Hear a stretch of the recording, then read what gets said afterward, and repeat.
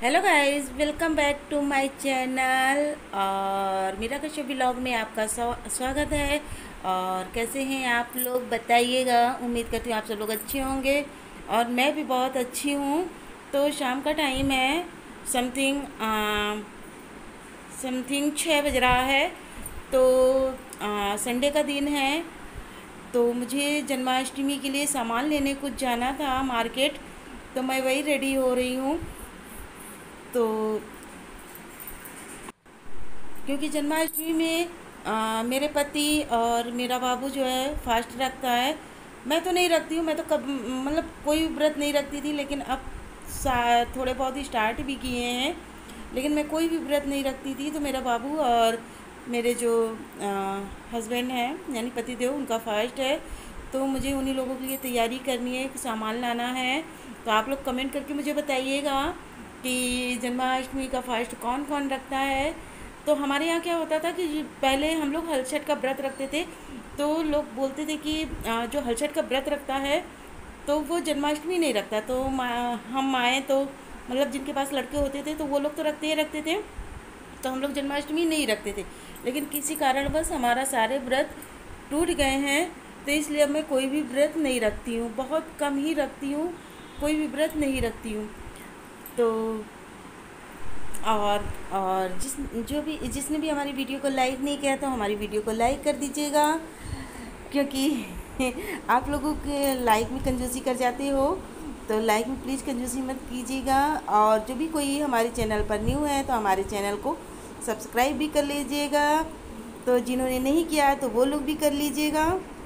और और मुझे आप लोगों की सपोर्ट की बहुत ज़्यादा ज़रूर है तो प्लीज़ आप लोग मेरा सपोर्ट कीजिए। और अगर मैं इससे कहीं कुछ गलत हो रहा है तो प्लीज़ कमेंट करके मुझे ये भी बताइएगा कि मैं कहाँ गलत कर रही हूँ क्या गलत कर रही हूँ क्योंकि आ, मुझे कुछ भी समझ में नहीं आता है। अगर आप लोगों को समझ में आए तो प्लीज़ मुझे कमेंट करके ज़रूर बताइएगा। तो मैंने ज़्यादा मेकअप नहीं किया आप लोग जानते हो मैं मेकअप में कंजूसी करती हूँ। मेकअप में कंजूसी क्या करती हूँ? क्रीम वगैरह लगाने में। तो मैंने ओनली केवल पाउडर लगाया है, जो जॉनसन बेबी का आता है। वही पाउडर लगाया हुआ है और काजल है। और जिसकी मैं सिंदूर लगाती हूँ, उसी कुमकुम से मैंने अपने माथे पर बिंदी लगाई है और लिप बाम लगाया हुआ है। तो बस कुछ भी नहीं लगाया, क्योंकि गर्मी में तो मेकअप मेरे से होता ही नहीं है। और लिपस्टिक का यूज़ भी मैं बहुत कम करती हूँ। कभी कदार अगर मन हुआ तो कर लेती हूँ, वरना वो भी मैं बहुत कम यूज़ करती हूँ। तो मैं मार्केट गई थी मार्केट में मैं वीडियो बनाने के लिए बोल रही थी अपने पति देव से, लेकिन मेरे पति देव मुझे डांटने लगे, वो तो मेरे कहीं सुनते ही नहीं है। बोलते हैं, जब देखो, जब जब देखो, तब तुम्हें तो वीडियो ही बनाना रहता है, और वो एकदम गुस्सा हो गए। तो उन्होंने मेरी वीडियो कोई भी शूट नहीं की। जब उन्होंने शूट नहीं की तो फिर मैंने भी ज़्यादा आगे नहीं बढ़ी। तो मार्केट से मैं सामान लेकर आई थी दिखा तो नहीं पाई क्योंकि आते ही काम में मुझे लगना था खाना मैं बना कर नहीं गई थी और वहाँ से बाबू ने चाउमीन मंगाई हुई थी तो मैं ये चाउमीन लेकर आई थी। तो वही हम लोग खाने जा रहे हैं।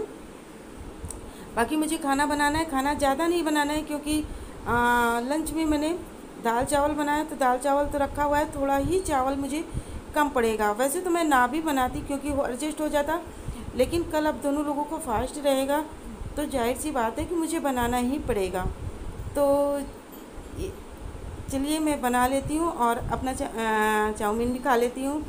तो इधर जो मैं सामान लेकर आई थी केला लेकर आई थी और भगवान जी का जो आ, कपड़े वगैरह था वो भी लेकर आई। वैसे मैं दिखाने पर सोच रही थी दिखाने के लिए लेकिन टाइम ही मुझे नहीं मिल पाया। काफ़ी रात हो गई थी फिर इसके बाद कूलर वगैरह चला तो मैं नहीं दिखा पाई। तो कल की वीडियो में आप लोगों को मेरी सारे सामान देखने के लिए ज़रूर मिलेंगे। तो ये केला वगैरह जो फल लेकर आई थी तो उसको मैं हटाकर अलग से बास्केट में रख रही थी। यानी कि अलग डलिया में खुले में रख दूँगी ताकि वो ख़राब ना हो। यानी कि जन्माष्टमी वाले दिन मेरा पूरा चल और प्रसाद चढ़ाने के लिए तो मैंने आधा निकाल कर फ्रिज में रख दिया है और आधा जो है यहाँ खाने के लिए रख दिया है। और मैं यहाँ पर बना रही हूँ चावल और ये आलू की भुजिया बना रही हूँ। बहुत सिंपल सी मतलब आलू की भुजिया मैं बना रही हूँ। इसमें ज़्यादा मसाला नहीं पसंद मुझे, क्योंकि ये सिंपल सी होती है तो मुझे बहुत अच्छी लगती है। और इधर मैंने जो है ये मिर्ची का अचार अचार की सब्ज़ी बनाई थी, इसको काट कर मैंने जीरा, हींग डालकर शाम को ही मैंने ऐसे छोंक दिया था, थोड़े से मसाले डाले थे बस। तो आज का हमारा डिनर जो है दाल, चावल और आलू की भुजिया है और मिर्ची का अचार है तो ये हमारा हो गया। बाकी ताज़ा चावल जो मैंने बनाया था, दोनों लोगों को दे दिया और ये ज़्यादा चावल बचा हुआ था। मैंने आपसे बताया था कि दाल चावल मेरा बचा हुआ है तो ये चावल मैं ले ले रही हूँ। और देखिए जमा जमा सा, जब ठंडा चावल हो जाता है तो वो जमा जमा सा हो जाता है तो इसको आप चम्मच से खा ही नहीं सकते हो। तो ज़ाहिर सी बात है कि इसको हाथ से ही खाना पड़ेगा। और बाकी ताज़ा चावल तो वो बिखरा बिखरा होता है तो अच्छा लगता है। तो चलिए, खैर, कोई बात नहीं, हम लेडीज़ों को तो आदत ही होती है कि जो बच जाता है तो बचा हुआ खाना खाने की।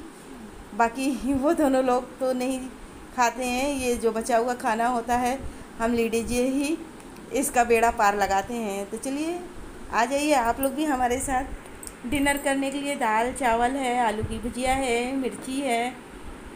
तो आप लोग भी खा लीजिए हमारे साथ। और यहाँ मैं टीवी देखते जा रही थी और अपने बाबू से बातें करते जा रही थी। तो टीवी में क्या था कि कपिल का शो आ रहा था। कपिल का शो मुझे बहुत ज़्यादा पसंद है। अभी तो बंद हो गया था तो वो टाइम तो बेकार ही जा रहा था। उस समय फिर न्यूज़ वगैरह चल जाता था। सैटरडे एंड संडे और अब तो कपिल का शो हो गया है, तब तो फिर काफ़ी अच्छा हो गया है, क्योंकि कपिल का शो तो बात ही क्या।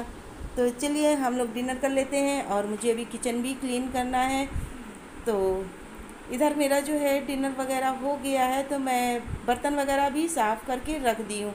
क्योंकि डिनर करने के बाद तुरंत बर्तन साफ़ करती हूँ, फिर किचन क्लीन करती हूँ, क्योंकि अगर मॉर्निंग में उठो तो किचन क्लीन क्लीन मिलता है तो बहुत अच्छा लगता है और दिल भी खुश हो जाता है।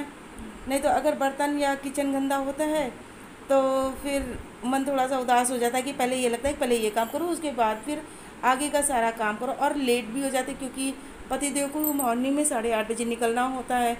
तो इसीलिए मैं हमेशा रात में अपना किचन जो है क्लीन करके ही सोती हूँ।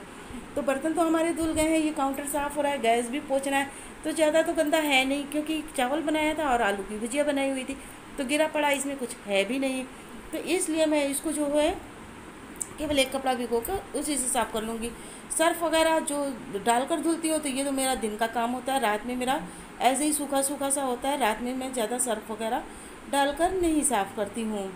और नीचे जो है, नीचे पानी गिरा होता है तो मुझे पोछा मारना है। पोछा पोछा भी मारना है, लेकिन उसके पहले मैं उस पर वाइपर मार दूँगी, ताकि पानी जो गिरा हुआ है, वो हमारा साफ़ हो जाए। फिर इसके बाद पोछा लगाने में भी आसानी हो जाती है। तो चलिए, मैं अपना किचन साफ़ कर लेती हूँ। और हाँ प्लीज़ जाते जाते लाइक ज़रूर कीजिएगा, और अपनी फैमिली और फ्रेंड्स के साथ अगर आपको हमारी वीडियो पसंद आए तो फैमिली फ्रेंड्स के साथ शेयर भी कीजिएगा। और सॉरी गाइज़ आज मैं आप लोगों से बात ना कर पाई क्योंकि कूलर भी चल रहा था, इधर कपिल का शो भी चल रहा था। तो इसलिए फिर मैंने, मैं सोच रही थी मॉर्निंग में वीडियो की एंडिंग करूँगी, लेकिन मॉर्निंग में भी उठी तो काम में लग गई तो मुझे उसका ध्यान भी नहीं रहा। तो चलिए खैर, कोई बात नहीं, नाराज़ मत होइएगा। नेक्स्ट डे कर दूँगी। और यहाँ मैं बार बार देख रही थी कि नीचे फ़र्श की मतलब वीडियो आ रही कि नहीं आ रही तो उसी को मैं बार बार सही से कर रही थी। क्योंकि होता क्या है कि मेरी वीडियो कभी कभी पूरी बन जाती है, अगर मैं देखती भी नहीं हूँ तो मैं जो सूट करना चाहती हूँ, वो तो सूट होता नहीं है और अलग से सूट हो जाता है। तो उसी को मुझे अब बहुत देख कर सोच समझ कर सूट करना पड़ता है। तो चलिए, अब मैं जो है फर्श पर जो पानी वगैरह गिरा हुआ है, उसको क्लीन कर लूँगी, उसके बाद पोछा मारूँगी। तो किचन हमारा क्या है ना कि काफ़ी छोटा है। तो कैमरा जो है सही से एडजस्ट नहीं हो पाता है। तो कैमरा एडजस्ट करने में थोड़ी सी दिक्कत होती है। इधर, उधर इधर, उधर करने, करना पड़ता है मुझे कि कहाँ सही से क्या चीज़ सूट हो रहा है। तो मुझे काफ़ी देख कर सोच समझ कर सूट करना पड़ता है। तो चलिए खैर, कोई बात नहीं। और अब मैं चलती हूँ और मिलूँगी आप लोगों से अपने नेक्स्ट वीडियो में। अपना ध्यान रखिएगा, अपना ख्याल रखिएगा। तब तक के लिए bye bye good night sweet dream